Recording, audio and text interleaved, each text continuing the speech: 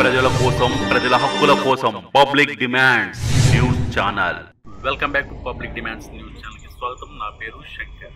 తూర్పుగోదావరి జిల్లా పిక్కవోలు మండలం పిక్కవోలు గ్రామంలో గల శ్రీ గోలింగేశ్వర స్వామి దేవాలయంలో నంది విగ్రహం దొంగతనం కేసులో స్థానిక DSP Balachander Reddy press meet నిర్వహించారు.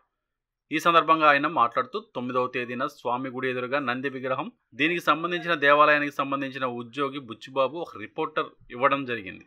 దేవాలయం ఆవరణలో ఉన్న చిన్న రాతి నంది బొమ్మ కనిపించడం లేదని చెప్పాడు. ఈ అంశాలను పరిశీలించి నైట్ వాచ్మెన్గా వ్యక్తి తన విధులను సరిగ్గా నిర్వహించలేదని తెలియజేశారు.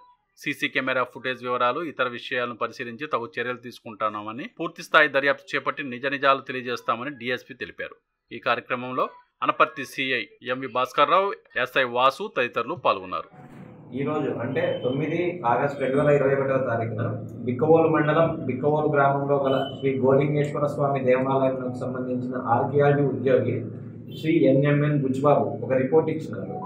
ఈ రిపోర్ట్ సారాంశం ఏంటంటే బిక్కవోలు గుడి ఆవరణలో ఒక చిన్న నంది బొమ్మ మిస్ అయింది అనేసి ఆ నంది బొమ్మ సుమారుగా ఒకటిన్నర అడుగు పొడవు ఒక అడుగు ఎత్తు ఉండి రాతి మట్టితో ఎర్ర రాతి మట్టితో చేయడం జరిగింది.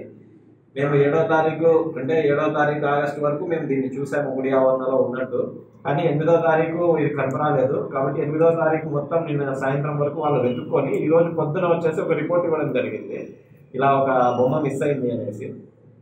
దాని మీద ఒక కేసు కట్టడం జరిగింది బికవల్ పోలీస్ స్టేషన్లో. Under crime number one eighty eight bar twenty twenty one. Under section three eighty IPC అంటే ఇంకా ఇది ఎలా మిస్ అయిందో మనకు తెలియదు కాబట్టి ప్రస్తుతానికి దొంగతనంగా భావించి త్రీ ఎయిటీ సెక్షన్ కింద కేసు నమోదు చేయడం జరిగింది.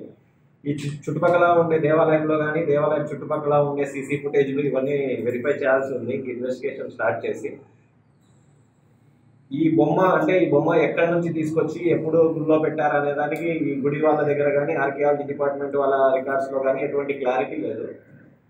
ఇన్వెస్టిగేషన్లో ఈ మొత్తం వివరాలు సేకరించి అతి త్వరలో ఒకవేళ దొంగతనం జరిగి ఉంటే ఆ దొంగను పట్టుకోవడానికి పోలీస్ డిపార్ట్మెంట్ ఖచ్చితంగా ట్రై చేస్తుంది. ప్రజల కోసం ప్రజల హక్కుల కోసం పబ్లిక్ డిమాండ్స్ న్యూస్ ఛానల్. నిరంతరం అప్డేట్ న్యూస్ కోసం సబ్స్క్రైబ్ చేయండి public demands news channel.